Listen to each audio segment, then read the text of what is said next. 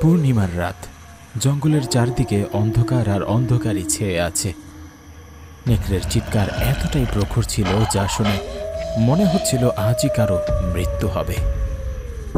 হাইওয়ের পাশের জঙ্গলের ভেতরে ছোট একটা বস্তি রয়েছে, যারা জঙ্গলের বাইরের দুনিয়া থেকে শত মাইল দূরে সরে আছে।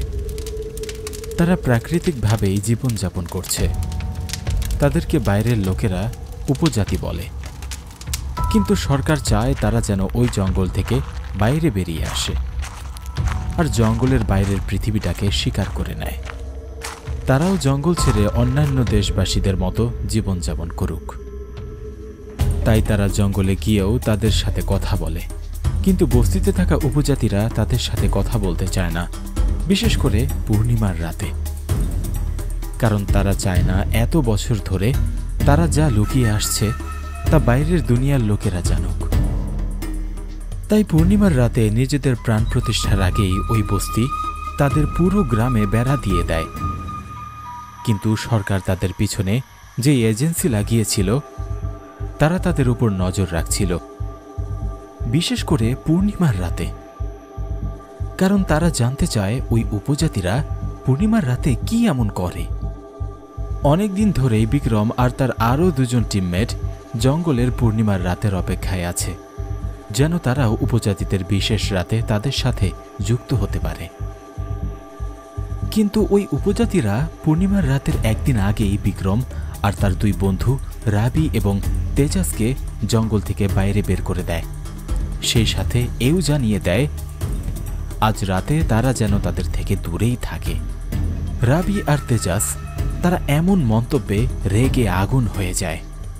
তারা সরকারি ক্ষমতার বড়াই করতে শুরু করে। কিন্তু বিক্রমের এক ইশারায় তারা দুজন একদম চুপ হয়ে যায়। তারপর বিক্রম ওই উপজাতিদের মাঝে থাকা একটি মেয়ের দিকে তাকায়। তার হরিণী চোখ থেকে মুক্তার মতো পানি ঝরছিল। কারণ এতদিন বিক্রমের সাথে জঙ্গলে থাকার কারণে সে তাকে ভালোবেসে ফেলেছিল। তাই সে চাইত বিক্রম যেন সারা জীবনের মতো তাদের সাথেই থাকে। কিন্তু নিজেদের পরম্পরা আর উপজাতির গোপনীয়তা রক্ষার্থে সে বিক্রমকে বিদায় জানাচ্ছে। তারা যাওয়ার পর রাবি রেগে মেগে বলে, বিক্রম স্যার, এতদিন এই জঙ্গলিদের সাথে কি লাভটাই বা হলো? সেই আমাদের বের করেই তো দেওয়া হলো। আমরা যে দিনের অপেক্ষায় ছিলাম। চিন্তা করো না রাবি, সত্যটা বের করেই ছাড়ব। কিন্তু কীভাবে স্যার? তারা তো আমাদের ঢুকতেই দেবে না। তোমরা চিন্তা করো না। আমি ভেতরে যাওয়ার গোপন সুরঙ্গের খোঁজ পেয়েছি। কিন্তু ভেতরে শুধু আমিই যাব। তোমরা দুজন বাইরে দাঁড়িয়ে আমার জন্য অপেক্ষা করবে। বিক্রম তার বন্ধুদের সব কিছু বুঝিয়ে জঙ্গলের অপর প্রান্তের একটি গুহার কাছে চলে যায়। আর সেটাকেও ওই উপজাতির বস্তি বলা হয়। এদিকে দুপুরের রোদ পরে সন্ধ্যা হতে চলেছে। এমন সময় বিক্রম মশাল জ্বালিয়ে গুহার ভিতরে ঢুকে নিজের গন্তব্যের দিকে যেতে থাকে। যখন সে গ্রামের অপর প্রান্তে পৌঁছে যায়, ততক্ষণে সন্ধ্যা গড়িয়ে রাত হয়ে গিয়েছিল। সেই সাথে পূর্ণিমার চাঁদও বেরিয়ে এসেছিল। বিক্রম লুকিয়ে লুকিয়ে তাদের গ্রামে ঢুকে পড়ে। কিন্তু তাদের বস্তি পুরোপুরি খালি ছিল। সবগুলো ঘরে এমনভাবে নিস্তব্ধতা চেয়েছিল যেন সেখানে কেউই থাকে না। তখনই কেউ একজন পিছন থেকে বিক্রমের কাঁধে হাত রাখে। এতে ভয়ে বিক্রমের শ্বাস বন্ধ হয়ে আসে। কারণ তার মনে হচ্ছিল, সে ধরা পড়ে গিয়েছে। এখন সে হয়তো মরেই যাবে। কিন্তু যখনই সে পিছনে ঘুরে তাকায়, তখন তার চিন্তা এক নিমিষেই দূর হয়ে যায়। আর সে বলে তুমি তো আমাকে ভয় পাইয়ে দিয়েছিলে। ভয় তো পেতেই হবে কারণ আমি ছাড়া আর কেউ যদি তোমাকে এখানে দেখে তাহলে তোমার মৃত্যু নিশ্চিত। আর যা তুমি দেখতে চাইছো তার কিছুক্ষণের মধ্যেই দেখতে পাবে। কিন্তু তুমি এমন কোনো জায়গায় লুকিয়ে দেখো যেখানে আমিও তোমাকে দেখতে পাবো না। লীলার কথা শেষ হতে না হতেই জঙ্গলের ভেতর থেকে ঢোল কাশির আওয়াজ ভেসে আসে। সেগুলো এক নাগারে বেজেই যাচ্ছিল এই আওয়াজ কোথা থেকে আসছে তা দেখার জন্য যখনই বিক্রম পিছনে ঘুরে তাকায়, তখন দেখে জঙ্গলের মাঝে আগুনের শিখা জ্বলছে। তারপর সে তখন কিছু একটা জিজ্ঞাসা করার জন্য লীলার দিকে তাকায়। তখন দেখে তার পিছনে লীলা নেই। বিক্রম বুঝতে পারে বাকি সফর তার একাই পূরণ করতে হবে। ঢোলের আওয়াজের পিছু করতে করতে বিক্রম সেই জায়গায় পৌঁছে গিয়েছিল। যেখানে সকল উপজাতিরা একত্রিত হয়েছিল। সে ঝোপঝাড়ের পেছন থেকেই সব কিছু দেখছিল এবং শুনছিল। সর্দারের হাতের ইশারায় ঢোল কাশির আওয়াজ এক মুহূর্তের জন্য থেমে যায়। তারপর ভপর আওয়াজ শুনে তাদের সর্দার উঠে দাঁড়ায় আর সবার দিকে তাকিয়ে বলে, পূর্ণিমার রাত প্রতি মাসেই আসে, কিন্তু বাৎসরিক পূর্ণিমার রাত খুবই বিপজ্জনক। এই রাতে আমরা আমাদের ইচ্ছাধারী শক্তির সাহায্যে সেই রূপ ধারণ করি, যাতে আমাদের বংশের বিস্তার হয়। আজই সেই পূর্ণিমার রাত। এখন পুরো চাঁদ বেরিয়ে আসার অপেক্ষা। এসো, সবাই একসাথে তাকে আহ্বান জানাই।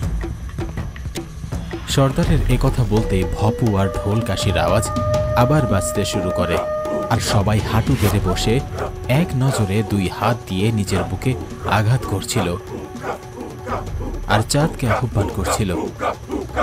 বিক্রম এসবের কিছুই বুঝতে পারছিল না। কিন্তু তখনই এমন কিছু ঘটে, যা দেখে বিক্রমের চোখ কপালে উঠে যায়। যার কারণে সে পিছলে নিচে পড়ে যায়। এমন মুহূর্তে বিক্রমের বড় বড় চোখ দেখে পরিষ্কারভাবেই বোঝা যাচ্ছিল, তার সামনে এমন কিছু ঘটছে, যা তাকে এক মুহূর্তের মধ্যে ধ্বংস করে দিতে পারে। বিক্রম নিজের প্রাণ বাঁচানোর জন্য এখন এমনভাবে দৌড় লাগায় যেন সে যদি এখন না দৌড়ায়, তাহলে সে আর কখনোই দৌড়াতে পারবে না। তাই সে এতবার পড়ে যাওয়ার পরও দৌড়েই যাচ্ছিল। তার পিছন থেকে এমন আওয়াজ আসছিল যা শুনে মনে হচ্ছিল কোনো এক দল তার পিছনে পড়ে আছে, কিন্তু অবশেষে সে তার প্রাণ বাঁচিয়ে সেই গুহার মুখে পৌঁছে যায়, যেখান থেকে সে এসেছিল। সে যাওয়ার সাথে সাথেই সে তার পুরো শক্তি কাজে লাগিয়ে বড় এক পাথর দিয়ে ওই গুহার মুখ বন্ধ করে দেয়। গুহার ওই প্রান্ত থেকে নেকড়েদের চিৎকার, চেঁচামেচের আওয়াজ শোনা যাচ্ছিল। কিন্তু বিক্রম আর কোনো কিছু না ভেবেই দৌড়াতে দৌড়াতে গুহার অপর প্রান্তে চলে আসে। সেখানে তার বন্ধুরা তার জন্য অপেক্ষা করছিল। কিন্তু সেখানে যেতে যেতে সে এতটাই আহত হয়ে যায় যে তাদের সামনে এক সেকেন্ডও সে আর দাঁড়িয়ে থাকতে পারে না, আর সে বেহুশ হয়ে সেখানেই পড়ে যায়। তারপর যখন তার চোখ খুলে, তখন তার মাথায় এই রাতের দৃশ্যই ঘুরে বেড়ায়। তার সামনে তার দুই বন্ধু ছাড়া একজন সিনিয়র আর একজন অফিসার দাঁড়িয়েছিল তখনই বিক্রম বুঝতে পারে তার চেহারা থেকে দাড়ি বেরিয়ে এসেছে আর সে রুগীদের জামা কাপড় পরে আছে। সে কোনো কিছু বুঝে ওঠার আগেই তার সিনিয়র তাকে বলে, পুরো এক মাস পরে উঠেছে বিক্রম, আর আমরা তোমারই অপেক্ষায় ছিলাম। এখন বলো তুমি সেখানে কি এমন দেখেছ? ওই রাতের নাম শুনে বিক্রম আরও একবার ওই ভয়ানক রাতের কল্পনায় হারিয়ে যায়।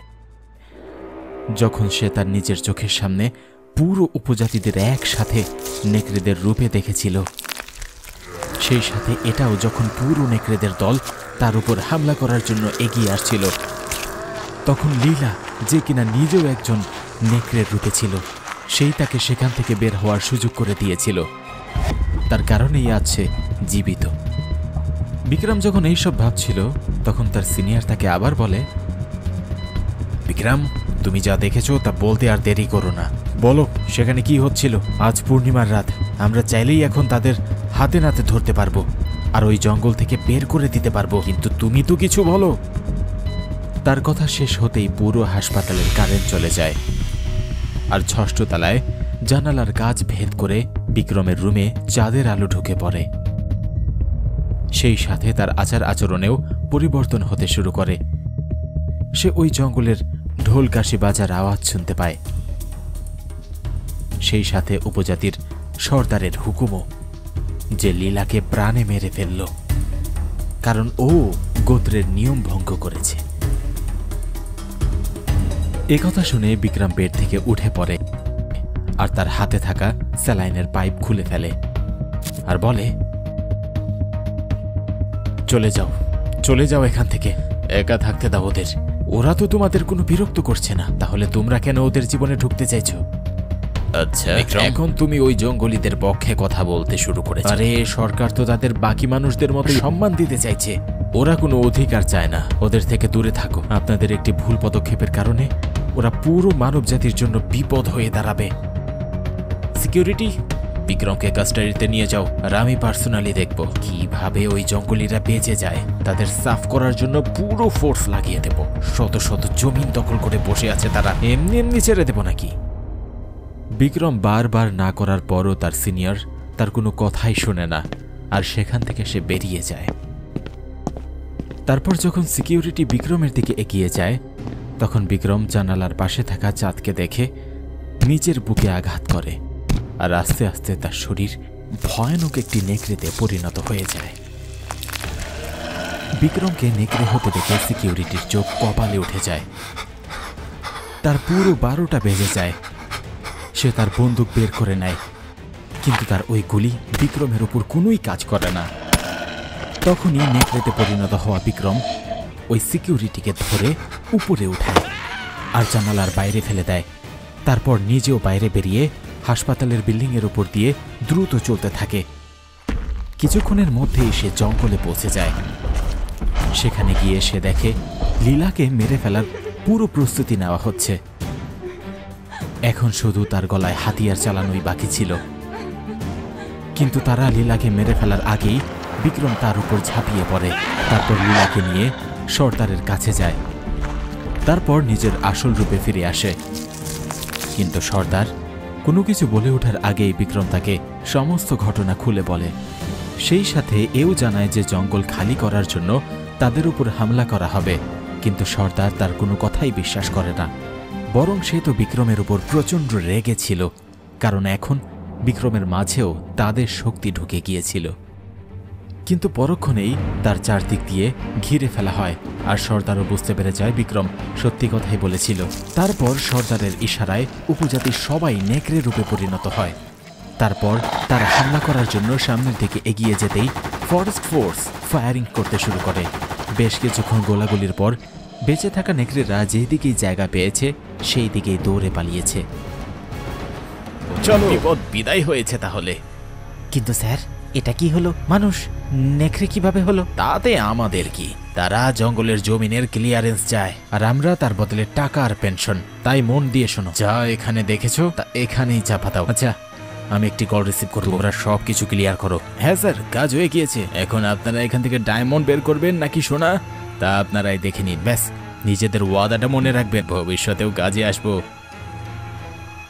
উপজাতিদের তাড়িয়ে লোভী মানুষেরা জমিন তো পেয়ে গেল।